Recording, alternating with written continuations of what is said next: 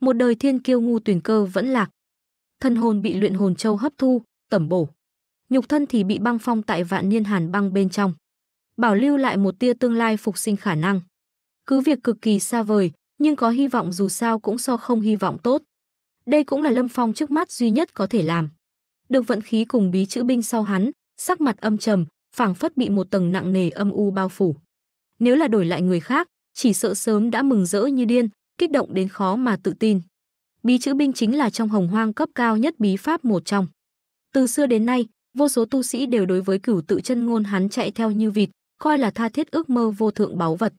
Chỉ cần có thể thu hoạch được thứ nhất, liền đủ để cho một người hưởng thụ cả đời, từ đó đạp vào tu hành tiền đồ tươi sáng, thành tựu phi phàm vĩ nghiệp. Nhưng mà, Lâm Phong lại cùng những người khác khác biệt. Đối với với hắn mà nói, tình cảm vĩnh viễn bày ở vị trí đầu, vượt xa lợi ích được mất. Nếu như được bí chữ binh điều kiện tiên quyết là mất đi một vị tán thành bằng hữu, tình nguyện không muốn. Lâm Phong nói với mình có đặc biệt lý giải. Bên người liền một người thân bằng hữu đều không có lời nói, tu vi lại cao hơn, thực lực có mạnh hơn nữa, còn không phải một người cô đơn. Dù là đứng ở hồng hoang vũ trụ đỉnh phong nhất, nhân sinh cũng không có chút ý nghĩa nào. Đương nhiên, này vẻn vẹn Lâm Phong cá nhân ý nghĩ thôi. Tại tuyệt đại đa số tu sĩ trong mắt, cơ duyên và kỳ ngộ mới là trọng yếu nhất. Hắn tầm quan trọng vượt xa bất luận cái gì.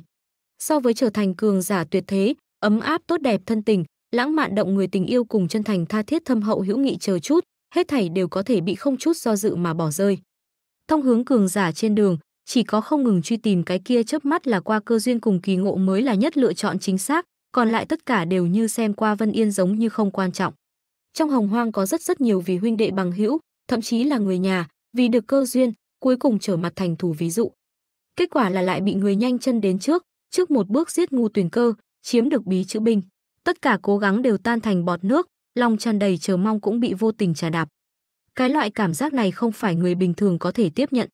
Triệu vô địch còn không biết ngu tuyển cơ đã chết, khí vận cùng bí chữ binh đều bị Lâm Phong thu hoạch được. Nếu không lời nói, tuyệt đối sẽ khí phát cuồng. Hiện tại cũng không thể xác định ngu tuyển cơ tình huống cụ thể, trong lòng chí ít bảo lưu lấy một tia hy vọng. Chờ thể lực khôi phục đến không sai biệt lắm, khẳng định sẽ còn tiếp tục tìm kiếm ngu tuyển cơ tung tích. Từ Nguyên lặng lẽ ở phía xa trong rừng rậm xuyên toa. Trong tay cầm ngu tuyển cơ bội kiếm, muốn thông qua phía trên khí tức, tìm ra ngu tuyển cơ chỗ ẩn thân. Kết quả phát hiện không được. Ngu tuyển cơ tại ném ra kiếm thời điểm, đã cắt cắt đứt liên lạc, hiển nhiên có chỗ phòng bị. Thân thể cực kỳ suy yếu từ Nguyên, cũng không phải là đang trợ giúp Triệu Vô Địch tìm kiếm, mà là vì mình. Người đều là ích kỷ, hắn cũng không muốn từ bỏ cái này vừa bay hướng thiên cơ sẽ. Chỉ cần tìm được trọng thương ngã gục ngu tuyển cơ, tự tay kết thúc hắn tính mệnh, bí chữ binh chính là mình. Tiếp theo tại tìm một chỗ trốn đi hảo hảo tu luyện. Lần sau xuất hiện, thân phận liền sẽ biến thành cửu tự chân ngôn bí pháp một trong bí chữ binh truyền nhân, cùng chịu vô địch đám người bình khởi bình tọa. Không có người không muốn lấy được cửu tự chân ngôn bí pháp. Dù là bốc lên to lớn phong hiểm cũng là đáng giá. Từ Nguyên cố nén ngực kịch liệt đau nhức, thân thể suy yếu, tại trong rừng rậm không ngừng biến hóa vị trí. Hy vọng có thể trước tiên tìm tới hấp hối ngu tuyển cơ. Tuyệt đối đừng chết, chết rồi bí chữ binh liền sẽ rơi xuống triệu vô địch trên đầu, mà không phải mình. Mặc dù Từ Nguyên bị thương nặng ngu tuyển cơ, nhưng cuối cùng cho ra một kích chí mạng là triệu vô địch, vậy liền không hắn chuyện gì. Ngay lúc này, phía trước xuất hiện một tia động tĩnh. Từ Nguyên tưởng rằng ngu tuyển cơ, trong lòng lập tức vui vẻ. Bởi vì triệu vô địch tại đối với bốn chu khu vực tiến hành trắng trợn phá hư, ý đồ bức ra ngu tuyển cơ. Phổ thông thiên kiêu sớm liền thoát đi, rất không có khả năng sẽ lưu lại. Chỉ có trọng thương ngã gục ngu tuyển cơ muốn đi đều đi không được. Chẳng lẽ mình thật muốn như vậy cải biến vận mệnh? Nhảy lên trở thành cửu tự chân ngôn bí pháp một trong bí chữ binh truyền nhân. Tương lai thậm chí có nhìn đứng ở hồng hoang vũ trụ chi đỉnh. Kích động đến toàn thân run rẩy từ nguyên vừa mới chuẩn bị lên kiểm tra trước. Xác định là ngu tuyển cơ lời nói, liều lĩnh đại giới, trực tiếp đánh chết, lấy được chiếc bí chữ binh sau lập tức trốn xa. Bỗng nhiên một bóng người đập vào mi mắt. Không phải ngu tuyển cơ, mà là mang theo bản thân vô tận sỉ nhục, nằm mộng cũng muốn giết người mặt quỷ. Lâm Phong nhìn thấy từ nguyên thời điểm đồng dạng sững sờ. Vốn cho rằng là bí chữ đấu truyền nhân triệu vô địch. Không nghĩ tới lại là đã từng giao thủ qua từ nguyên. Nhìn xem từ nguyên trên tay kiếm. Có ngu tuyển cơ khí tức. Hơi suy nghĩ một chút liền hiểu. Từ nguyên là triệu vô địch tìm giúp đỡ, cũng là núp trong bóng tối đánh lén ngu tuyển cơ tiên hoàng cảnh. Không có hắn lời nói, triệu vô địch muốn đem ngu tuyển cơ bị thương thành như thế, sợ sẽ không dễ dàng như vậy. Nói cách khác, Từ Nguyên là tạo thành ngu tuyển cơ tử vong hung thủ một trong. Lâm Phong cùng Từ Nguyên vừa thấy mặt, song phương đều có riêng phần mình tâm tư. Từ Nguyên muốn lập tức rời đi, tạm thời không nguyện ý cùng người mặt quỷ phát sinh xung đột. Mặc dù hắn nằm mộng cũng muốn giết người mặt quỷ, vì chính mình chính danh. Vốn lấy bản thân trước mắt trọng thương chưa lành trạng thái, đánh lên khả năng cao sẽ bị người mặt quỷ chém giết. Chờ sau này có cơ hội báo thù nữa à? Tìm được trước ngu tuyển cơ, thu hoạch được bí chữ binh quan trọng. Từ Nguyên muốn đi, Lâm Phong cũng không muốn cho cơ hội. Nhìn thấy trong tay đối phương chui kiếm này, liền đoán được là tạo thành ngu tuyển cơ tử vong hung thủ một trong. Đáp ứng rồi muốn thay ngu tuyển cơ báo thù. Triệu vô địch cùng Từ Nguyên đều không thể bỏ qua. Hai người gặp mặt về sau, một câu đều không nói. Tại Từ Nguyên cẩn thận từng ly từng tí, từng bước một chậm rãi hướng về phía sau lui lại thời điểm, Lâm Phong hành động. Cửu tự chân ngôn bí pháp một trong bí chữ hành thi triển đi ra. Thân ảnh lập tức tại chỗ biến mất. Thấy cảnh này, Từ Nguyên trong lòng mãnh kinh, thấy lạnh cả người theo cuộc sống cấp tốc lan tràn đến toàn thân. Bí chữ hành cường đại, hắn là tự mình lĩnh giáo qua, loại kia thần gia quỷ không có năng lực, đến nay ký ức vẫn còn mới mẻ. Không đợi Từ Nguyên làm ra hữu hiệu ứng đối biện pháp, Lâm Phong như như u linh lặng yên xuất hiện ở sau lưng hắn. Cùng lúc đó một cái thường thường không có gì lạ, như ẩn như hiện phi đao, tựa như tia chớp kích xạ mà đến. Xảy ra bất ngờ công kích, để cho Từ Nguyên hoảng hồn nhi, không có quá nhiều suy nghĩ thời gian, vô ý thức liền vươn tay ra mưu toan bắt lấy cái kia phi nhanh mà tới phi đao. Tiếp xuống đã phát sinh một màn, lại hoàn toàn ra khỏi hắn dự liệu. Phi đao thế mà không trở ngại chút nào xuyên thấu bản thân vươn đi ra bàn tay. Càng khiến người ta cảm thấy không thể tưởng tượng nổi là bàn tay thế mà không có cảm giác được một điểm đau đớn. Là lạ. Không có thực thể. Chỉ là hư huyễn ảo giác sao. Từ nguyên mặt mũi tràn đầy kinh ngạc, ngơ ngác nhìn qua phi đao xuyên qua bàn tay mình, nhanh chóng đánh tới. Tâm lý vạn cái dấu chấm hỏi. Không có thực thể phi đao, sao có thể làm bị thương bản thân đâu? Chẳng lẽ là vẻn vẹn vì hấp dẫn bản thân lực chú ý? Càng cường đại công kích còn tại đằng sau. Không có người cho Từ Nguyên giải thích những vấn đề này. Diệt hồn đao đâm vào đầu óc hắn. Ngay sau đó, một cỗ giống như vạn kiến đốt thân giống như kịch liệt đau nhức đột nhiên đánh tới, phảng phất có một đôi bàn tay vô hình chính vô tình lôi xé hắn thần hồn. Đau đớn tới là hung mãnh như vậy cùng mãnh liệt, đến mức hai mắt lập tức trừng lớn đến cực hạn, con ngươi kịch liệt phóng đại, toàn bộ bộ mặt đều vì cực độ thống khổ mà bắt đầu vặn vẹo. Ngay tại Từ Nguyên sắp kêu ra tiếng một khắc này, Lâm Phong nhanh chóng huy động trong tay hỗn độn kiếm. Kiếm quang lóe lên một cái rồi biến mất.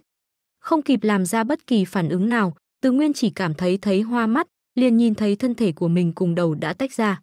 Tiện tay một tia kiếm khí bắn ra chuẩn xác số mệnh từ Nguyên đầu, tiếp tục hướng phía trước, đính tại một cây đại thụ phía trên. Mọi thứ đều phát sinh quá nhanh, nhanh đến để cho người ta căn bản là không có cách tránh né cùng phòng ngự. Từ Lâm Phong xuất thủ đến Từ Nguyên thi thể tách rời, bất quá ngắn ngủi trong nháy mắt công phu. Mà Từ Nguyên cái kia nguyên bản muốn thốt ra tiếng kêu sợ hãi, cũng bị gắng gượng nghẹn hồi trong cổ họng. Cuộc chiến đấu này không có cái gì phức tạp sức tưởng tượng chiêu thức, có chỉ là trực tiếp nhất, bén nhọn nhất công kích, mục tiêu rất đơn giản, chính là vì giết người. Lâm Phong vừa lên đến chính là thi triển ra cửu tự chân ngôn bí pháp một trong bí chữ hành lấy xét đánh không kịp bưng tay chi thế tới gần Từ Nguyên. Sau đó không chút do dự mà sử xuất ngưng hồn quyết, ngưng tụ ra diệt hồn đao xuất kích, cho Từ Nguyên chế tạo ra thần hồn bị công kích đau đớn, khiến cho tạm thời mất đi năng lực phản kháng. Cuối cùng một kiếm, càng là nhẹ nhõm chém xuống đầu lâu của chúng nó, đem nó đính tại trên đại thụ. Từ Nguyên còn chưa chết. Tiên hoàng cảnh cường giả sinh mệnh lực phi thường cường hãn. Há to miệng, muốn nói, lại phát hiện mình không phát ra được một chút xíu thanh âm. Thân hồn nhục thân song song bị hao tổn. Bóng đêm vô tận đánh tới. Cũng không lâu lắm liền triệt để mất đi khí tức. Một vị tiên hoàng cảnh cường giả từ đó vẫn lạc. Từ đầu tới đuôi, từ nguyên đều chưa từng xuất chiêu. Trong lòng nghĩ chỉ là an toàn rời đi. Thế nhưng địch nhân thật sự là quá cường đại. Xuất thủ gọn gàng, hoàn toàn chạy giết người mà đến. Lâm Phong có thể thuận lợi như vậy đánh giết Từ Nguyên, diệt hồn đao làm ra mang tính then chốt tác dụng. Nếu như nói nhục thân cực hạn đau đớn, còn có thể miễn cưỡng chịu đựng lời nói, thần hồn cũng không giống nhau, một khi bị hao tổn, cái loại cảm giác này thật không phải người bình thường có thể tiếp nhận. Đặc biệt là lần đầu tiên kinh lịch người. Dù là ý chí lực lại kiên định đều không được. Trừ phi giống Lâm Phong dạng này, thể nghiệm qua vô số lần thần hồn phân liệt mang đến đau đớn, mới sẽ không nhận ảnh hưởng quá lớn. Diệt hồn đao đối với một trận chiến này tác dụng rất lớn, trừ cái đó ra từ nguyên bản thân thương thế đồng dạng gia tốc hắn tử vong. Ngô Tuyền Cơ bao hàm lửa giận một kiếm, lệnh từ nguyên thụ trọng thương. Còn chưa kịp khôi phục thương thế, liền tiến tới không ngừng đến tìm kiếm Ngô Tuyền cơ tung tích, muốn có được bí chữ binh cải biến chính mình vận mệnh, từ đó nhất phi trùng thiên, trở thành giống triệu vô địch như thế yêu nghiệt. Kết quả không nghĩ tới đem sinh mệnh mình cho tống táng. Chỉ có thể nói là tham lam cùng dã tâm, hại chết từ nguyên. Nếu như hắn không tới tìm tìm ngu tuyển cơ, trước tiên tìm một chỗ hảo hảo dưỡng thương, liền sẽ không rơi vào thân tử đạo tiêu hạ tràng. Giải quyết từ nguyên về sau, Lâm Phong rất vui vẻ cảm giác thân thể hút vào đặc thù nào đó năng lượng. Cùng kết thúc ngu tuyển cơ tính mệnh thời điểm một dạng. Hẳn là cái gọi là khí vận. Thông thiên lộ ải thứ ba tên là khí vận chi tranh. Rõ ràng là muốn cho 900 vị thiên chi kiêu tử tàn sát lẫn nhau, chiếm lấy đối phương khí vận. Cuối cùng sinh ra một tên có được đại khí vận người. Cùng nuôi cổ không có gì khác biệt. Ván lớn lượng độc trùng đặt chung một chỗ chém giết. Sống sót, chính là cổ phương. Chẳng qua là đem độc trùng đổi thành người mà thôi. Lâm Phong không biết thông thiên lộ người tổ chức mục tiêu là cái gì. Duy nhất có thể làm, chính là tận lực sống sót. Bản thân sẽ không đi chủ động giết người. Đương nhiên, nếu ai dám đến tìm phiền phức, vậy cũng đừng trách hắn không khách khí. Ngồi sổng người xuống, nhặt lên ngu tuyển cơ bội kiếm. Phía trên còn lưu lại ngu tuyển cơ khí tức. Thu nhập càng khôn giới về sau, Lâm Phong tiếp tục lặng yên tiến lên. Mục tiêu là cửu tự chân ngôn bí pháp một trong bí chữ đấu truyền nhân triệu vô địch. Người này thực lực cường đại, vì tư lợi, tâm ngoan thủ lạt. Để cho hắn trở thành đại khí vận người, đối với hồng hoang vũ trụ cũng không phải gì đó chuyện tốt. Có thể sớm chém giết tốt nhất, không thể cũng phải thừa dịp đối phương thể lực không có khôi phục thời khắc. Thăm dò một ít thực lực rốt cuộc như thế nào, có dạng gì thủ đoạn, vì về sau chiến đấu chuẩn bị sẵn sàng. Theo tiến về phía trước, Lâm Phong cảm ứng được phía trước có một cỗ cường đại dị thường khí tức. So từ nguyên không biết phải mạnh hơn bao nhiêu lần. Xác định là triệu vô địch.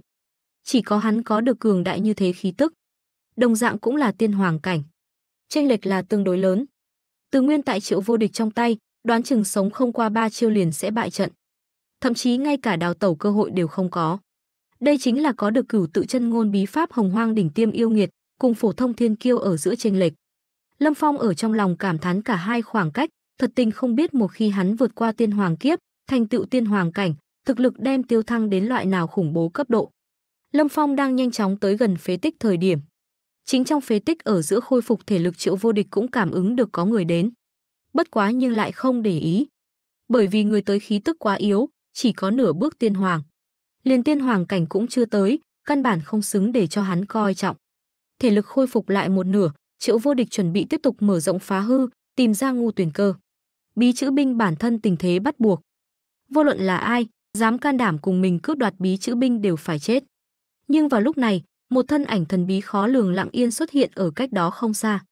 Mang theo một tấm quỷ dị mặt nạ, làm cho không người nào có thể thấy rõ chân thực khuôn mặt.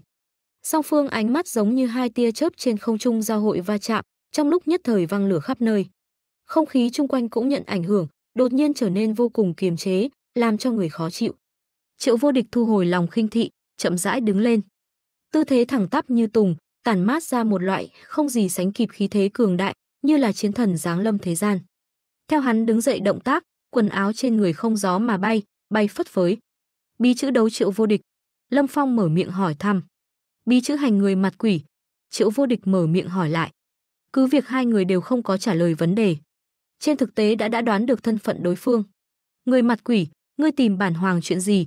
Triệu Vô Địch lúc này cũng không muốn cùng người mặt quỷ nổi lên va chạm. Vừa đến, bản thân thể lực chưa hoàn toàn khôi phục. Thứ hai, tìm kiếm ngu tuyển cơ mới là trước mắt trọng yếu nhất sự tình, đừng đều có thể trước để ở một bên. Mặc dù người mặt quỷ chỉ có nửa bước tiên hoàng cảnh tu vi, nhưng hắn có thể chém xuống từ nguyên một bàn tay, nói rõ đầy đủ tiên hoàng cảnh sức chiến đấu.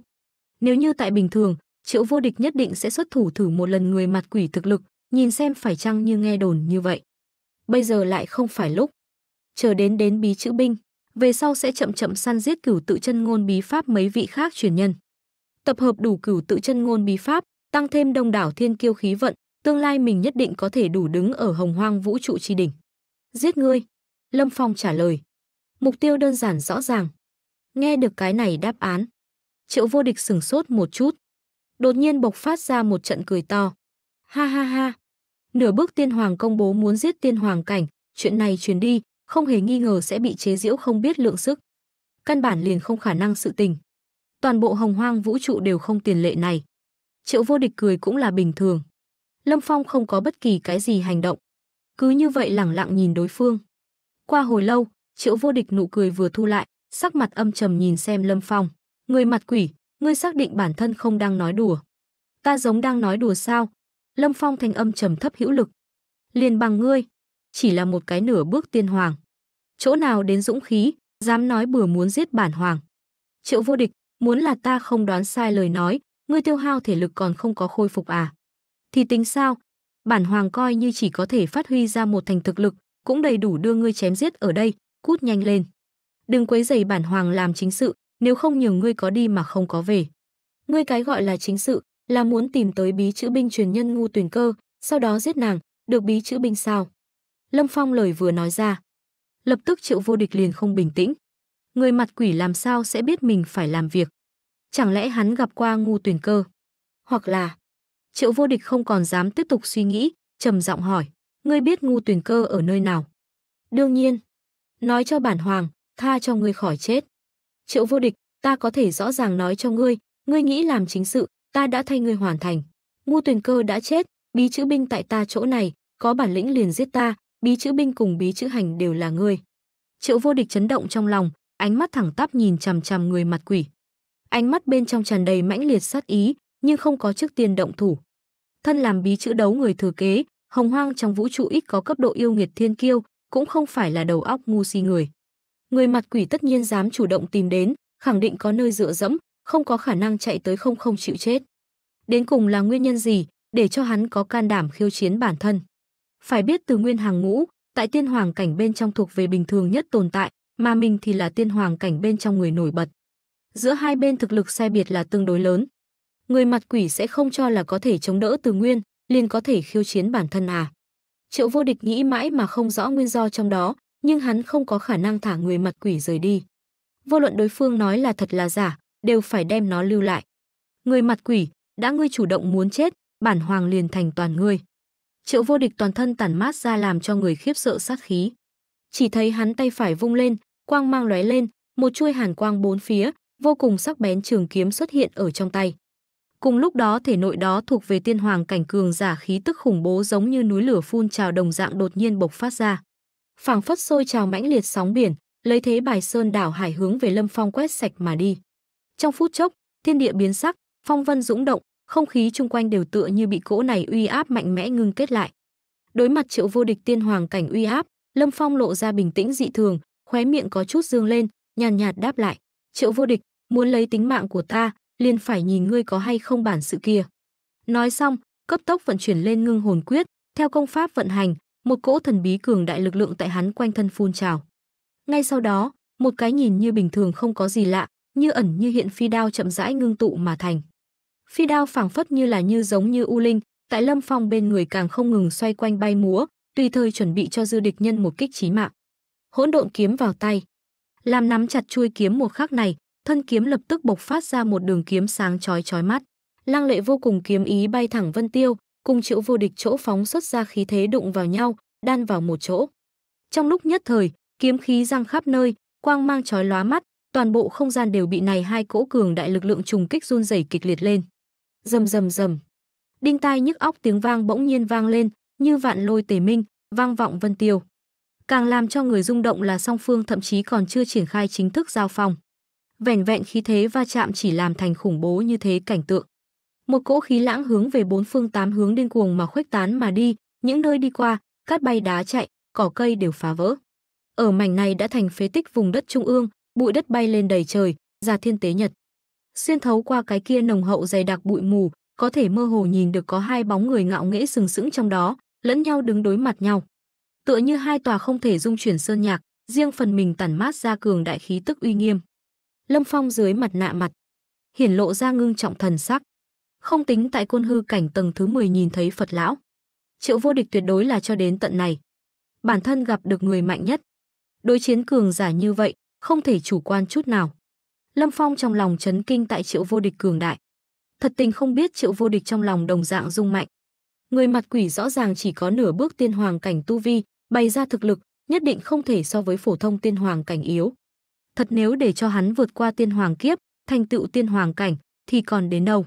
Hôm nay nhất định phải đem nó chém giết, chấm dứt hậu hoạn.